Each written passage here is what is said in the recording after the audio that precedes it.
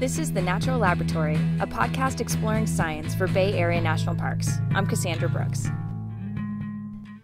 Today I'm out with scientists and educators off Monterey Bay searching for the Humboldt squid, Dosidicus gigas, also known as the jumbo squid. Or in Mexico, where the fish are caught commercially, they call them Diablo Rojo, the red devil.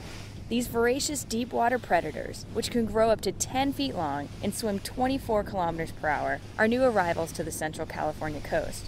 Scientists from Stanford University's Hopkins Marine Station are studying the squid, trying to understand why they've moved here into the Northeast Pacific and what effect they might have on the local ecosystem. Today, I joined the Stanford crew for a fishing adventure, along with scientists with the National Marine Fisheries Service, local fishermen, and educators with the Monterey Bay National Marine Sanctuary.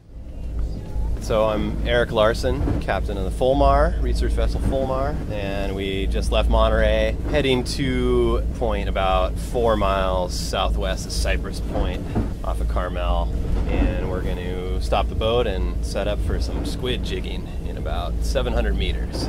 It's a little windy, a little little bit of a swell. We got about a six or seven foot swell, and it's supposed to get to about 25 knots of wind, but right now it's not too bad. I'm standing on the back of the boat with Professor William Gilly, who's spearheading the Humboldt squid tagging effort as part of Hopkins' Tagging a Pacific Predators program. We're perched on the side of the boat, holding sturdy fishing rods outfitted with large spiked glow in the dark jigs. We drop the jigs a couple hundred feet down in the water and wait, hoping to trick a squid into biting. Humboldt squid feed in frenzies, snatching anything they can find in the water. They seize prey with long tentacles covered with rings of prickly serrated teeth, which they use to bring the prey up to their mouth, where they devour it with a large, sharp beak. If the squid are down here and actively feeding, they're sure to latch onto the jig. Gilly's research team uses satellite tags to record an animal's movements underwater in space and time. Once affixed to a squid, the tag tells the researchers how deep the animals are diving, where they're traveling to, and where they prefer to live. Historically, Humboldt squid were seldom found further north than Baja California, Mexico. Then, with the arrival of the 1997 98 El Nino, the squid came in mass, and they've maintained a fairly regular presence since then. Why do you think they're here? I guess there's a lot of stuff for them to eat.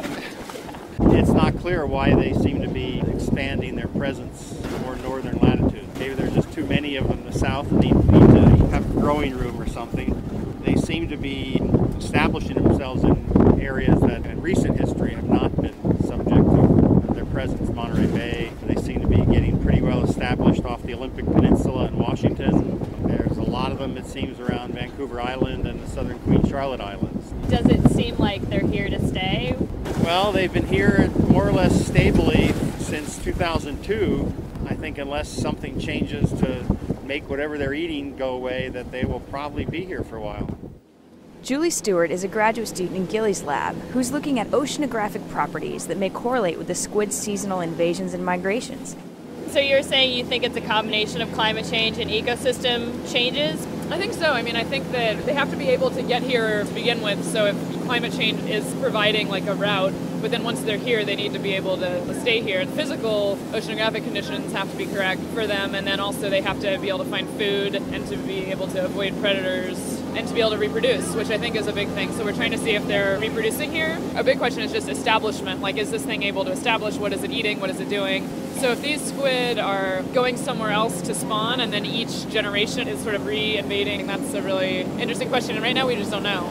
So the satellite tag should give you information as to whether or not they're actually just migrating here to feed and then Right. returning back south. Right. Okay. Right. That's the that's the goal. To find out if the squid are reproducing here in California, Danna Staaf, a graduate student in Gilly's lab, has been searching for squid babies, or what she calls paralarvae.